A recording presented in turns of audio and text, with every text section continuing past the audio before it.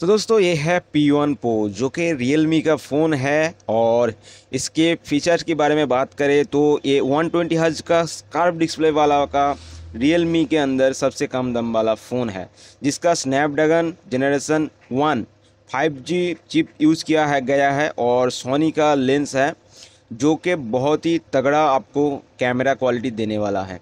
चलिए फटाफट फ़ोन को अनबॉक्सिंग कर लेते हैं और एक दो महीने चला के देखा मैंने, उसके बाद में अनबॉक्सिंग करता हूँ। इसमें सुपर भॉक चार्जिंग जो अडेप्टर है, आपको मिलता है और U S B to type C cable मिलता है और एक सिम निकलने का पिन मिलता है और एक आपको कंपनी और कंपनी की तरफ़ से कवर मिलता है और कवर के अंदर ये कुछ डिटे जो बुक है, वो है। और चलिए फ़ोन को निकल लेते हैं। तो फ़ोन आप देख सकते हो, वो मोटो जी एट्टी फाइव के तुलना में थोड़ा सा भारी भरकम सा फ़ोन है हल्का सा मोटा है। इसका बैक में दो कैमरा सेंसर है, साइड में वॉल्यूम अप डाउन स्विच और ऊपर में एक स्पीकर और नीचे में सिम कार्ड निकलने की जगह माइक और टाइप सी और स्पीकर है। चलिए फ़ोन को फटाफट ऑन कर लेते हैं और फ़ोन के बारे में बात करें तो इसका जो रियल मी के अंदर सबसे कम प्राइस वाला स्कार्प डिस्प्ले वाला फ़ोन है। तो इसका रीज़न ये है कि ऑनलाइन में ट्वेंटी थाउज़ेंड दिखाता है लेकिन अगर आपके पास कार्ड वगैरह है आप ऑफ़र का इस्तेमाल करके ये इसको आप अप्रोक्स सत्रह हज़ार के आसपास भी आप ख़रीद सकते हो। तो दोस्तों आप देख सकते हो फटाफट मैंने इसको आ, सेटिंग कर लेता हूँ। और मैं वही वीडियो आपको दिखाता हूँ जो वीडियो रियल है। बल्कि फ़ेक वीडियो मैं आपको नहीं दिखाता हूँ।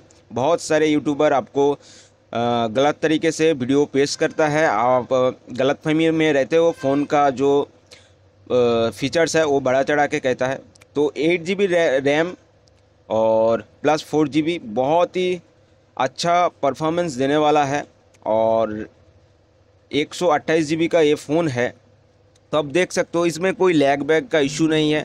इसमें आप गेम चलाओ या फिर कुछ भी चलाओ। हाँ स्कार्प डिस्प्ले वाला फ़ोन गेम खेलने में थोड़ा सा कंफर्टेबल नहीं है। तो आप देख सकते हो, ये जो फ्रंट का बैक का कैमरा है 50 प्लस फाइव और फ्रंट में 50 मेगापिक्सल कैमरा दिया हुआ है।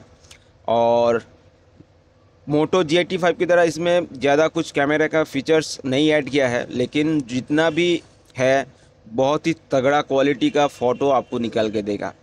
अगर आप इसके मुकाबले जो नथिंग टू ए प्लस का कैमरा कंपेयर करो तो नथिंग टू ए का बैक कैमरा इससे बेटर है और फ्रंट का camera Nothing two A plus से भी इसका बेटर है। तो आप देख सकते हो इसमें जो कैमरा क्वालिटी है, बहुत ही तगड़ा है। वो बैक चाहे या फिर फ्रंट और लो लाइट में भी आपको बहुत ही अच्छा फ़ोटो निकल के देता है ये फ़ोन तो 5000 थाउज़ेंड की बैटरी के साथ ये फ़ोन आता है और बहुत ही अच्छा कंडीशन में ये फ़ोन आपको दिखाई देता है, क्योंकि इसमें हाथ में पकड़ने में थोड़ा सा भारी भरकम सा फील आएगा और कैमरा का क्वालिटी आप सोनी का लेंस यूज़ किया गया है। तो आप देख सकते हो इसका जो क्वालिटी है जूम ज़्यादा नहीं है, लेकिन जूम जितना भी है फुल जूम करके इसका जो कैमरा है, ये फुल क्लैरिटी आपको देने वाला है। अगर आप लेना चाहते हो सत्रह हज़ार के आसपास में कोई स्कार्प डिस्प्ले वाला फ़ोन तो आप मोटो जी एट्टी फाइव या फिर Realme P one pro ले सकते हो। तो आप देख सकते हो इसका फ्रंट का कैमरा क्वालिटी भी ओके है। तो दोस्तों, मैं इस तरह का वीडियो लाता रहता हूँ जो कि रियल है और कोई भी सवाल हो, आप कमेंट करके मेरे को पूछ सकते हो। मैं उसका जवाब दे दूँगा और चैनल को सब्सक्राइब करके ज़रूर रखना। ताकि गलत फहमी में आप मत रहोगे। और जो रियल है फ़ोन का रियल फीचर्स है फ़ोन के साथ क्या क्या मिलता है, वो रियल कंडीशन मैं आपको दिखाता हूँ। तो ये कुछ बैक का कैमरा है और अपडेट आने के बाद ये थोड़ा सा और भी